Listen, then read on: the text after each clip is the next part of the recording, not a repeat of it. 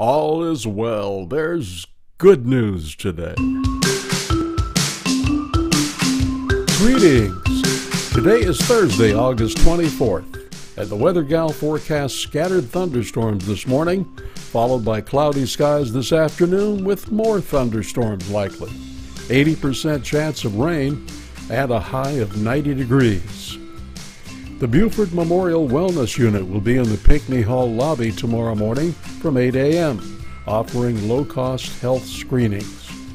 Now I wonder, would this pet be allowed in Sun City? A woman in Devon, England lost her beloved pet skunk and was distraught. Reported it, advertised it, and finally called on a local clairvoyant. Now, that was the key.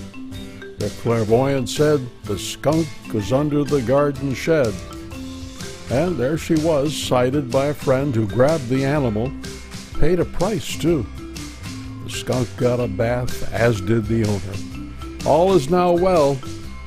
I hope you have a great day. I'm Hal Meeks.